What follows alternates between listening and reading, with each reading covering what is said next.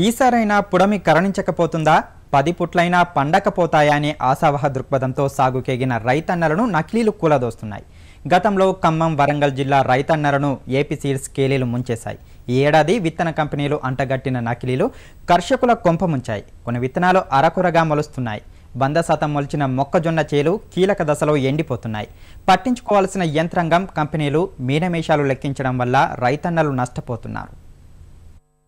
కరవును జయించి పంటను కాపాడుకున్న ఈ కష్టజీవులు నకిలీ విత్తనాల బెడదతో దిగ్భ్రాంతికి గురవుతున్నారు. నకిలీ విత్తనాలు కల్తీ పురుగుమందులపై వ్యవసాయ శాఖ నిఘా కరువవడం వల్ల అన్నదాతకు ఈ నష్టాలు తప్పడం లేదు. మొన్న పాలమూరులో విత్తిన పత్తి రైతులు నిన్న జనగాంలో పత్తి రైతులు నేడు తిమ్మక్పల్లి మొక్కజొన్న సాగుదారులది ఇదే దుర్గతి. మెదక్ జిల్లా దౌల్తాబాద్ మండలం తిమ్మక్పల్లికి చెందిన కొందరు రైతులు ఈసారి ఆరుతడి పంటగా మొక్కజొన్న పెట్టారు. సన్ క్రాప్ నాలుగు వందల ఐదు అనే రకాన్ని సాగు చేశారు. పంట ఏపుగా పెరిగినా కంకి దశలో గింజ సచ్చుపడిపోతోంది. పొలంలో పదునున్న మొక్కలు పూర్తిగా ఎండిపోతున్నాయి. సమస్యను వ్యాపారి అధికారులకు వివరించినా ఫలితం లేదని రైతులు వాపోతున్నారు. తమకు న్యాయం చేయాల్సింది పోయి అధికారుల సమక్షంలోనే తమపై దాడికి దిగుతున్నారని బాధితులు ఆరోపిస్తున్నారు.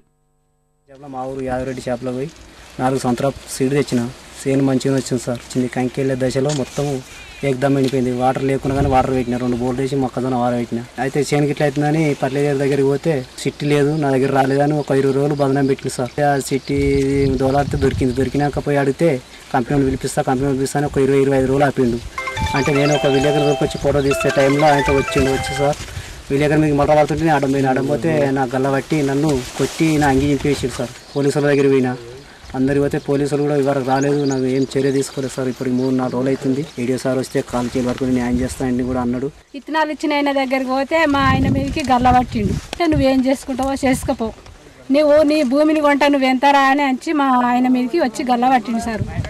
అధికారులు ఇంతవరకు ఎవ్వరు ఏం చేయలేదు నిన్న ఏడియోనో ఏమో వచ్చిందట వచ్చి కూడా ఏం చేయలేదు. కాళ్ళు మొక్కినాం అన్ని చేసినాం. ఆయన వచ్చి కూడా ఏం చేయలేదు. అధికారులు ఎవరు వచ్చిన వాళ్ళే లేరు సార్. నిన్న ఏడీఓ వచ్చారు అంత అక్కడికి వెళ్ళి రోడ్ మీదకి వెళ్ళి రోడ్ మీదకి వెళ్ళి వెళ్ళిపోయాడు సార్. నా చింతానికి కూడా రాలేదు సార్. ప్యాకెట్లతో ఫోటోలు తీసుకురు ఇది వరకు నాకు ఏది న్యాయం అనేది ఏది చేయలేదు సార్. అయ్యో అన్నదాత నీకెంత కష్టం అనే కథనానికి వ్యవసాయ అధికారులు స్పందించారు. శాస్త్రవేత్తలు వ్యాపారులు రైతుల సమక్షంలో ఎండిపోయిన మొక్కజొన్న చేలను పరిశీలించారు. పొలాన్ని కూడా గమనించడం జరిగింది. సన్ క్రాప్ అనే కంపెనీ నుంచి విత్తనం కొన్నాడు ఆయన హైబ్రిడ్ రకం విత్తనం అది. సో అన్ని రకాల హైబ్రిడ్లు కూడా ఒకే రకమైన లక్షణాలు కలిగి ఉండవు.